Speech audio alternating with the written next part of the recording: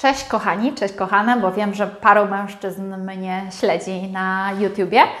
E, mamy trzeci tydzień, jak funkcjonuje bez Facebooka. Ciekawe, czy będę teraz nagrywać filmy trzeci tydzień, czwarty tydzień, piąty tydzień i któryś tam e, tydzień. E, no ale myślę, że na początku pierwsze te kilka tygodni wnosi najwięcej zmian, więc warto jest powiedzieć o tym, czy cokolwiek jeszcze się wydarzyło. Jeżeli Cię to interesuje, to oczywiście zostań ze mną do końca. W ostatnim filmie opowiadałam, zapraszam do niego tutaj, co zyskałam dzięki temu, że już nie jestem dwa tygodnie w mediach społecznościowych. Kochani, wiele osób dzwoni do mnie, pisze i mówi, że to był wielki krok i że mi gratuluje tego, że odważyłam się zrezygnować z Facebooka, bo to jest naprawdę ogromne wyzwanie. No rzeczywiście, na początku mogłoby się wydawać, że to jest ogromne wyzwanie, no bo nagle teraz z kim ja się będę komunikować, do kogo będę dzwonić, jaki będę miała znajomych i gdzie się poinformuję o co. A minęły trzy tygodnie, jak nie korzystam z Facebooka, tak prywatnie oczywiście, i świat się nie zawalił. Świat dalej funkcjonuje, wszystko jest tak jak trzeba. I mam takie wrażenie, też mówiłam w ostatnim filmie, że mm, jak sobie radzę z, z, problemami, że nic w życiu się nie dzieje bezprzyczynnie i wszystko ma swój głębszy sens i z perspektywy czasu, nawet jeżeli coś się zepsuło, to i tak widzimy, że, że był tego większy sens.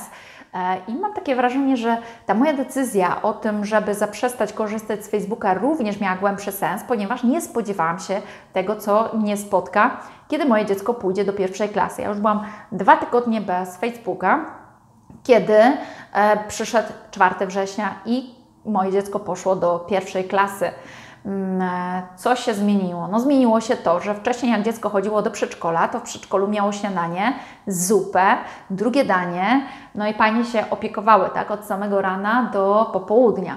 A teraz dziecko do przedszkola, y, do szkoły jak idzie, to musi zjeść śniadanie w domu, zabrać śniadanie do szkoły, więc trzeba je przygotować, a ja nie zawsze miałam w lodówce, pomimo tego, że jestem dietetykiem, tak wiem, szef w dziurawych butach chodzi, nie zawsze miałam asortyment lodówkowy taki, żeby pozwolić zrobić śniadanie dziecku do szkoły. No i może Was to teraz zdziwi, ale e, Wiele osób się też mnie pyta, jak ja odżywiam moje dziecko, czy ono żywi się paleo. No tak, na śniadanie jest w stanie zjeść jajka, kiełbaski, parówki, tak jak ja, on to bardzo lubi. Ale do szkoły, jak wiemy, dzieci nie lubią brać takich rzeczy, no nie każde, no bo to będzie obciach, nie będę jeść łyżeczką, nie będę jeść widelcem, nie będę jeść palcami, bo to jest obciach, inne dzieci jedzą buły, to ja też chcę bułę. No i efekt jest taki, że pakuję mojemu dziecku do, do szkoły tą bułę, niestety, e, którą czasami zjada, czasami nie zjada, no ale trzeba zapakować, a żeby ją mieć, to trzeba zrobić wcześniej zakupy. E, więc funkcjonuje to zupełnie inaczej. Wstaję rano, tak jak do tej pory, ale teraz muszę wstać zawsze o 6.30, więc taka trochę jestem mimo wszystko zmęczona, no bo kolejny dzień wstaję o 6.30 e, do 7.30 musimy się wyrobić. E, rano muszę siebie ogarnąć, wieczorem jeszcze pakujemy tornister, muszę sprawdzić, jakie ma lekcje, no bo jeszcze tak, młody nie do końca ogarnia, co ma tam sobie wsadzić do tego zeszytu.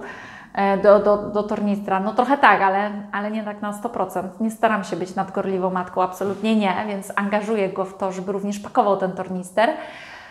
E, niemniej jednak chyba jest to dość, dość trudne wyzwanie. No, takie dziecko ma 7 lat. Ja wiem, że wie, wiele rzeczy mm, takie dzieciaki potrafią i chcą być bardzo samodzielne, ale E, tak jak mi ktoś mówił, że zobaczysz, jak dziecko pójdzie do szkoły, to skończy się chęć na poranne wstawanie. I tak jest, o 7 rano bardzo ciężko jest go zmusić do wstania, a 7.30 musimy wyjechać.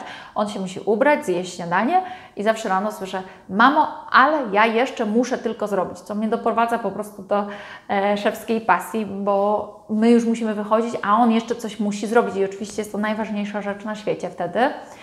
A więc wychodzimy o godzinie 7.30, musi mieć to śniadanie, zapakowaną wodę, e, soczek jakiś, no bo przecież inne dzieci też piją soczek, ale woda musi być na sport, a soczek może być ewentualnie na przerwę.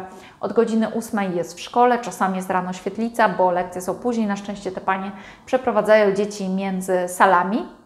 No i później po szkole czasami są zajęcia dodatkowe. No i to ten pierwszy tydzień teraz, który był, to było po prostu orientowanie się. Tu było spotkanie z rodzicami. E, Krzychu chodzi jeszcze na piłkę nożną, co też Wam raz pokazywałam w jednym z vlogów. E, a piłka nożna jest ileś tam kilometrów e, za Opolem. E, więc spotkanie też na tej piłce nożnej. Tu wyjść, tu zdążyć. W międzyczasie były jakieś monster traki w Opolu, e, więc też chcieliśmy zdążyć. No i efekt był tego taki, że szkoła się skończyła o 14.30, później dzieci jedzą jeszcze obiad, więc nie mogę dziecka odebrać zbyt wcześnie, no bo jest jeszcze obiad. E, później było spotkanie 16.30 z rodzicami, przeciągnęło się, lecieliśmy na monster traki, monster traki się nie odbyły. Więc kupiliśmy bilet, e, pojechaliśmy następnego dnia. Następnego dnia miałam umówione paznokcie, musiałam odwołać. Miałam umówioną spotkanie na piłce nożnej, musiałam odwołać, bo przecież monster traki są najważniejsze. Um, więc e, pędzę do szkoły po moje dziecko dnia następnego, mojego dziecka nie ma. Okazało się, że zapisał się na koszykówkę. No i siedzę pod tą salą gimnastyczną do godziny 17, czekam aż on wyjdzie. Później lecimy do domu, szybko się przebrać na Monster Trucki. Monster Trucki się skończyły o godzinie 20.30, no to on jeszcze musi iść wszystko pooglądać. Wyszliśmy stamtąd 20.40, pędziliśmy jeszcze do Decathlona, żeby kupić czarne spodenki i białą koszulkę, bo się okazało, że dziecko zapomniało spodenki na WF-ie. E, no a na drugi dzień jest WF Sport i trzeba mieć te ciuchy na zmianę, a moje dziecko się zapisało na, chodzi, chodzi na WF, a zapisało się jeszcze oprócz tego na piłkę nożną i na koszykówkę. No więc tych ciuchów sportowych dość dużo musi być. No, wydaje mi się, że to jest duże obciążenie dla takich dzieciaków, kiedy idą na ósmą do szkoły, e, mają jeszcze zajęcia dodatkowe, sport, ma na przykład w jeden dzień WF, koszykówkę, piłkę nożną. No ale jak chce, ja go oczywiście do niczego nie zmuszam i też zachęcam rodziców, żeby tutaj jakoś specjalnie nie naciskać te dzieciaki na te zajęcia dodatkowe. Efekt jest taki, że przychodzimy do domu i już nie ma czasu naprawdę na głupoty, na chęć grania, oglądania telewizji czy jakieś inne rzeczy. Po prostu młody domaga się, żeby go położyć spać. No a ja się kładę razem z nim, korzystam z tego. 21 jestem w łóżku, 6.30 wstaję i chyba się niedługo przestawię na tą nową rzeczywistość, ale naprawdę ja mega, mega podziwiam i szacuneczek dla kobiet, które mają dwójkę albo trójkę dzieci i każdy jest zapisany w innej części miasta na co innego. Jeszcze dzieciom dasz radę ugotować obiad. To jest po prostu dla mnie mistrzostwo świata. Bo jak ja wracam do domu 21, to ja się zastanawiam, kiedy mam ten obiad gotować bo naprawdę o 21 kładę się spać, już nie jestem w stanie dalej funkcjonować. Zresztą Krzychu też y, lubi, jak wszyscy idziemy razem spać. Znaczy on śpi u siebie, ale lubi, jak się, jak się jednak z nim zasypia. E, no to jak już się kładę do łóżka, no to przecież nie będę wstawać z tego łóżka jeszcze, żeby coś popracować, dlatego staram się e, przyjeżdżać o 8 do pracy i od 8 do 16 wykonuję przez 8 godzin swoją pracę, po czym wychodzę i jest ten czas właśnie dla rodziny. Także wydaje mi się, że to, co się wszystko do tej pory działo, to było wprowadzenie do tego, co miało nastąpić teraz. Czyli ja już jestem dużo lepiej przygotowana, już wcześniej zaczęłam wdrażać 3 razy 8 e, zaczęłam też, e, no właśnie, zrezygnowałam z Facebooka, dzięki czemu łatwiej mi się ogarnia te tematy i e, staram się planować z dużym wyprzedzeniem to, co będzie w przyszłości. Ja też w którymś filmie mówiłam, dlaczego listy demotywują. Mm, dla mnie to jest bardzo demotywujące i ja zaczęłam po prostu w którymś momencie bardzo mocno e, oddawać pracę innym osobom, delegować, dlatego że no nie jesteś w stanie sama ogarnąć wszystkiego. Wiem, że kobiety to tak myślą często, że same są najlepsze i nikt tego lepiej od nich nie zrobi. Wiem, wiem, wiem, też tak miałam, ale zaczęłam oddawać e, pewne tematy. To oddaję dziecku, bo wiem, że może zrobić, to daję mężowi, bo wiem, że może zrobić. Proszę znajomych o to, żeby mi pomogli. Nie targam się z czymś sama, jeżeli wiem, że mogę tą czy tą osobę pomóc, a przecież wiele osób lubi robić rzeczy dla innych. Ja też lubię, jak ktoś mnie poprosi o coś i mogę coś dla kogoś zrobić, to jest cudowne.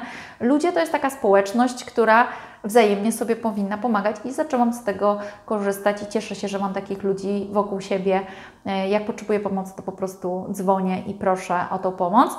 E, zaczęłam też delegować pewne rzeczy moim pracownikom, ale też zaczęłam się zastanawiać nad tym, co jest ważne, a co nie. I dzień zaczynam najczęściej od rzeczy, których nie lubię które wiem, że są takimi, ja to nazywam gniotami, które po prostu są przekładane wielokrotnie.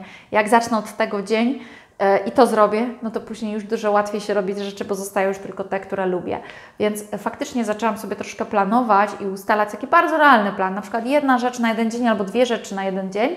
Mm, mam taką listę rzeczy do zrobienia, globalną, e, ale nie stresuję się, że coś jest niezrobione. Ona jest. Ja sobie czasami rano wybiorę, no dobra, dzisiaj pilne jest to i to, i to są dwie rzeczy, od których dzień zaczynam.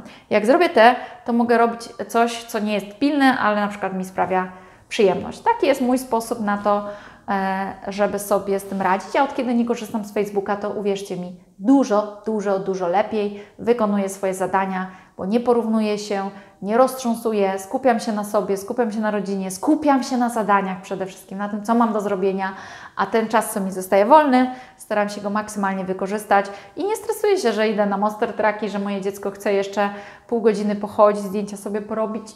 No bo po prostu na to ten czas przeznaczyłam, czyli za, za, za, jakby daję sobie e, zadanie, że do 16 pracuję, a później ten czas spędzam z rodziną, a jak on już się ułoży, no to już wszystko po prostu wynikowo.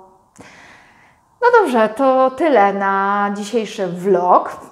Nie wiem, czy w przyszłym tygodniu będą dwa vlogi, sobota i niedziela, bo tak jak Wam powiedziałam, wchodzi e, w soboty Mateusz Ostręga, nasz nowy dietetyk kliniczny ze swoimi radami. E, jeżeli chcecie, żeby te vlogi były częściej, macie tematy, chcecie, e, żebym o czymś konkretnym poopowiadała, to oczywiście pozostawcie mi informacje w komentarzu. No i zachęcam do lajkowania i do subskrybowania. Do zobaczenia w następnym odcinku.